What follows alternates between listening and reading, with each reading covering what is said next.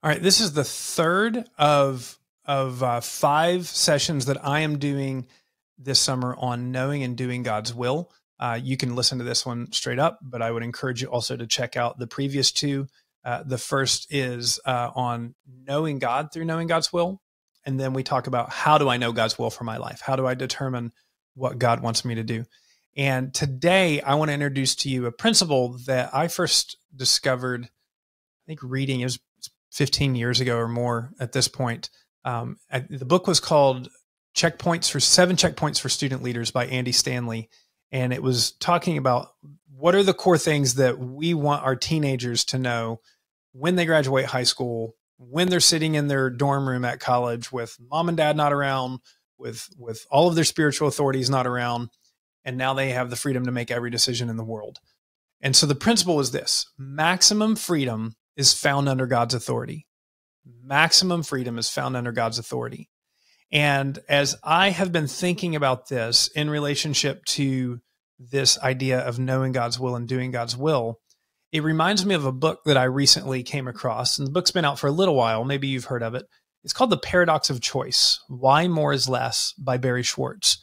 Um, the best illustration I can give of this is uh, if you've ever been to Cheesecake Factory, which is one of my favorite restaurants in the world, um, I realize that when I go to Cheesecake Factory, there is this level of anxiety that I have whenever they hand me that novel of a menu. It's not just a menu; it's it is like a tome. I mean, there must be 35 pages of pot. Well, every other page is an advertisement, so only down to 15 pages of potential choices to make at Cheesecake Factory, and that's just for the meals. And then they bring out the the list of cheesecakes at the end, and there are 25, 30 cheesecakes. And one of the things that I've realized is that the bigger the menu is, the more stress that I have that I'm making the wrong choice, that I'm going to miss out, that I'm not going to get the best. And so I have figured it out at Cheesecake Factory. It's down to this. It's down to the um, Cajun chicken jambalaya pasta which is my absolute favorite, but I go into a coma after I'm eating, the Thai lettuce wraps, or the sweet corn tamales. That's it. I've limited 35 pages of meals down to one. And then when it comes time for dessert, I don't even need to see the menu because I'm getting the white chocolate raspberry truffle cheesecake from the Cheesecake Factory, which is one of the greatest things that I've ever eaten in my life. So I have taken those 35 pages and limited it to about three and a half choices. And my life is so much better because of it. And I think that's a principle. Um, paradox. The paradox of choice is is playing out uh, on the long term, which is we have reached this point in society where there are so many choices for so many things that that we are not at a level of freedom. We're at a level of paralysis. You know, you think about our poor kids when they're told you can be anything in the world. Well, it feels like now my possibility is anything in the world, and that's a real challenge um, you can do anything you want to do. Now, we know that that's not true, but we tell kids that. It's like, I'm looking at my kids, you're not going to be an NBA player. You're not going to be an NFL player unless you figure out how to be the long snapper. Uh, you're just not wired for that. Sorry, dad didn't give you the right genes. Um, but when we tell kids that, that you can do anything you want, and when we, you know, they come to their dating relationships and it's like, you know, there's everybody in the world. What if I make the wrong choice? We end up getting paralyzed by so many choices. And so what you find is that um, you don't have freedom by having unlimited opportunities. Um, and you don't have joy because you have unlimited opportunities. And and and Barry Schwartz in the Paradox of Choice goes through some of the science of this, how it's legitimately true that the more choices that you have, the less satisfied you are with any specific choice that you have um, because you have stressed out about the choice. And then even once you make the choice, generally, um, you're still stressed out because maybe you missed out on a better choice. And so there's less satisfaction. And I have found this is one of two major reasons that I would say maximum freedom is found under God's authority. So, first and foremost, is just simply seeking to obey God's will and um, seeking to limit my choices to the things that I know God would be pleased with cuts out so many possible choices for me. And that's really a freedom. Let me give you an example. I shared this with, with our teenagers uh, this spring as we were talking. You know, I'm, let's say I'm young and I'm single and I want to know who I'm going to end up with forever. And that's desperately difficult because there are 8 billion people in the world now. Well, let's use God's authority as as a parameter here. Okay, what does God say? He says that, you know, God made man to be with woman. Uh, for this reason, a man shall leave his father and mother and cleave uh, to his wife. So we know that God's standard is that for a man should be with a woman, your spouse should be a woman. Okay, well, that is restrictive, right? Because now all of a sudden there are 4 billion people who have been removed from my list of possibilities to be with. And some people can get upset at that. But to me, again, understanding this paradox of choice, well, that's freedom because that's 4 billion less people that I have to determine. Well, that's not the only parameter in scripture. God also tells us don't be unequally yoked with unbelievers. And so we don't just because okay, I'm a man, just because somebody's a woman doesn't mean she's a good fit for me. Um, I want somebody who is in the Lord, um, not just somebody who says that they're a Christian. Which, if first off, let's take you know if they say they're a Christian, well, there's still 2 billion people on earth that identify as some form of Christian. Um, let's say half are men, half are women. Well, that's down to 1 billion. Okay. So that's great because I went from 8 billion choices to 1 billion choices. But not everybody that says they're a Christian is truly following Jesus. And so, what I want to do is, I want to limit even the people that I look at for people who are legitimately seeking Jesus with their life. And I should know this not simply because they say, Yes, I'm legitimately seeking Jesus. I should be able to see this by the fruit in their life. Fruit. Do I see love? Do I see joy? Do I see peace? Do I see patience and kindness and goodness, gentleness and faithfulness and self control?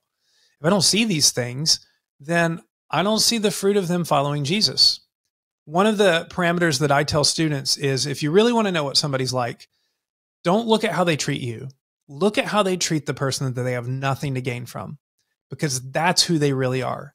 And at some point, you're going to be that person that they have nothing to gain from. So if they are kind and gracious and considerate to people that they have nothing to gain from, then you can have confidence that that's their true character. But if if they are manipulative, if they're demeaning, or if they're dismissive of people who are not up to their status or up to their level of of gain, then you want to be careful of those people because at some point you don't help their status anymore. You don't have anything to offer them, and you're going to be stuck with the consequences of their character. So, again, I'm limiting the choice by people that are truly, genuinely seeking to follow Jesus. Now, the reality is there are still hundreds and hundreds and hundreds and thousands of people that fit that. And so then now I limit my parameters by do we have common interest? Do we have the same direction in life? Um, do they click with my people? Do I click with their people? So, you know, that can be limited quite a bit. But you can see that just simply one of the beauties of the limiting factor of God's will is it cuts out a lot of choices from our life. Um, what am I going to do as a job? Well, I can go ahead and throw off those that are unethical, but also I can throw off those jobs that I know would be very detrimental to me being faith. If if I want to be married, if I want to be a good parent, then I need to have a filter for jobs that are going to be very detrimental to me being a faithful spouse and a faithful parent. And so for me, I remember making a choice um, before I was married. Um, there was something that I wanted to do. Actually, I was I was in a military school and I wanted to fly jets and uh, I learned that fighter pilots uh, are away from home 180 days a year in peacetime. And for me, it's like, nope, I don't want to do that. I'd wanted to be a fighter pilot for years. And when I heard that, I was like, no, because I want to be a good husband and I don't want to be away from my wife and my kids half the year. So I made that choice uh, because I feel first and foremost that honoring God as a husband and as a dad is more important than whatever my job is. So that limited it down. But the other side of maximum freedom is found under God's authority isn't just that it limits our choices, so that'll be good. It's that it actually expands our freedom. You know, we all want freedom, and in some senses, we would like to say, I want unlimited freedom, but we know that that's not a reality because for every choice that you have, there's a consequence. For every decision that we make, there's a decision that we have to live with. And so when we make decisions that are outside the parameters of God's will, when we make decisions that go against scripture, against what God's put down for us, then we're stuck with the consequences of that. Um, there's a great book. Uh, Andy Stanley, or not Andy Stanley, I'm sorry, Sean McDowell, um, who I've had on the podcast before, Dr. Sean McDowell, has a great book written to teenagers called A Rebel's Manifesto. And in that book, he's talking about sex and sexuality. And, and he just poses this simple question What would our country be like? Or what would the world be like if everybody obeyed God's sexual ethic? Now, on one hand, we would say if everybody obeyed God's sexual ethic, then like, you know, people wouldn't have the freedom to be with who they wanted. People wouldn't have the freedom to give in to their urges. And, and, um, you know, there would be a lot of like temporary pleasure that would be taken off the table. Okay, I'll give you that. But he follows through this thought experiment. What would the world be like if everybody followed God's sexual ethic? So that is sex inside a monogamous marriage for life. Well, what are some of the consequences in society for that? First off, you'd you'd have uh, very few kids raised in single parent homes. By that point, it would only really be because of death that you have a child in a single parent home. Whereas now, um, in the United States, forty percent of children are being raised in a single parent home or a home where they're bouncing back and forth between divorced parents. Um, every child would know their father. Whereas right now, I think it's 20 to 30% don't have any kind of real good relationship with their dad. Um, there would not be a sex slave trade. There would not be pornography. Um, the amount of violence would go down because a lot of the violence that happens ends up happening because of these physical relationships. There would be no more rape. Is this a good society or a bad society? I mean, this is incredible. If we would just simply obey God's sexual ethic, the amount of horrendous things, long term societal consequences that we wouldn't have to face, um, we would get to enjoy the fruits of. Why? Because maximum freedom is found under God's authority. Uh, when we talk to our young people, we talk to our um, our guys and girls every year on um, what it means to be a real man and what it means to be a real woman. And in both of those cases, one of the principles is expects God's greater reward. And what we're saying by that is that a real man and a real woman, as opposed to a boy and a girl, will forego short term pleasure, forego temporary reward, expecting God's long term greater reward. And so when we seek to honor God uh, with and and do God's will for our lives, we're free from many of the devastating consequences of sin. We're free from the regret of broken relationships. We free ourselves from a lot of disease. You think about alcoholism and addiction and stuff like that. You're free from losing a ton of your money. Um, you're you're free from a lot of major health consequences that you have. But you but these are not things that you experience immediately with the decision. These are things that you experience over the long term by seeking to obey God. Maximum freedom is found in God's reward, but that's but that is a long-term freedom. And so what we want to be as real men and women is people who can make sacrifices today knowing that God will reward us tomorrow. And ultimately it's not about even just my reward here on this earth.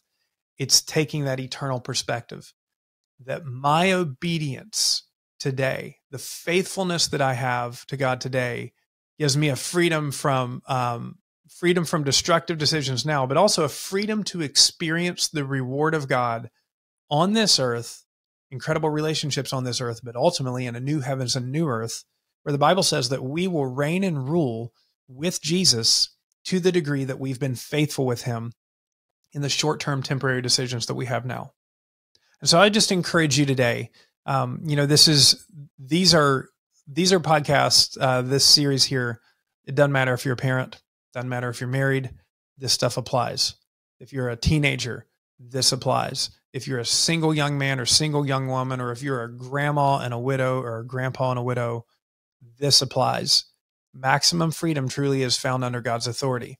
It will take short term sacrifice but you will have long term benefit, long term reward. You will free yourself from the chains of slavery of long term consequences. And like we talked about in that first uh, first lesson in this series, by doing God's will, you know God and you experience the freedom of that relationship with God all the more. So, you know, coming to Christ, putting my faith in Jesus Christ means I'm saying no to every other religion. I'm saying no to worship of myself. I'm saying no to idolatry, to money and success and all of those things. But in the process, I get incredible freedom. I'm not, I, instead of, instead of being free to choose drugs, for example, I'm free to not choose them. I'm free to not give into addiction. I'm free to not give into slavery. I'm free to not hold on to bitterness and anger and these destructive things that tear me apart. Why? Because maximum freedom is found under God's authority. And so if you're experiencing some kind of slavery in your life right now, what I would encourage you to do is find out what is God's will in this particular area. Submit yourself to God's will in this area. And it may take some time, but experience the freedom that we get by serving God, honoring God, and honoring God with our decisions.